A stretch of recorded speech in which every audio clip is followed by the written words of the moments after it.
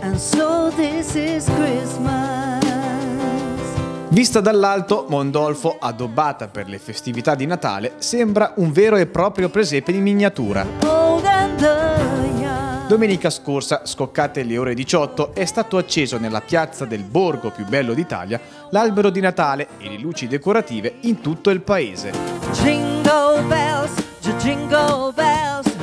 Per garantire il rispetto delle normative Covid, l'amministrazione comunale ha realizzato una diretta Facebook per poter dare la possibilità a tutti i cittadini e anche a quelli dei comuni limitrofi di assistere all'accensione tra interventi, musica dal vivo e immagini suggestive. L'accensione delle luminarie quest'anno assume un significato del tutto particolare, è un segno di speranza, eh, un auspicio di rinascita dopo un periodo difficile legato all'emergenza sanitaria e la speranza è che la luce del Natale possa spazzar via questo periodo complicato e eh, si possa tornare presto alla normalità.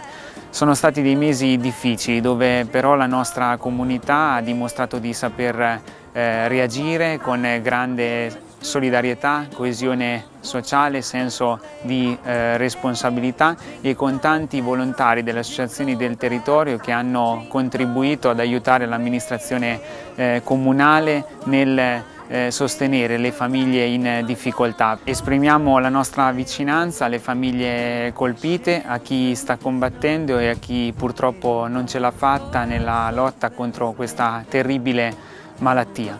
Purtroppo l'emergenza sanitaria non, non, è conclusa, dovremo trascorrere le festività eh, natalizie in modo diverso da come eravamo soliti fare, però questo non deve fermare eh, lo spirito e il fascino del Natale. L'augurio è che il Natale possa essere nel segno eh, dei valori, eh, con un pensiero sempre alle persone in eh, difficoltà. Novità di quest'anno l'illuminazione dell'intero palazzo comunale, accompagnata da una cascata di luci bicolore dalla torre civica fino all'estremità della piazza.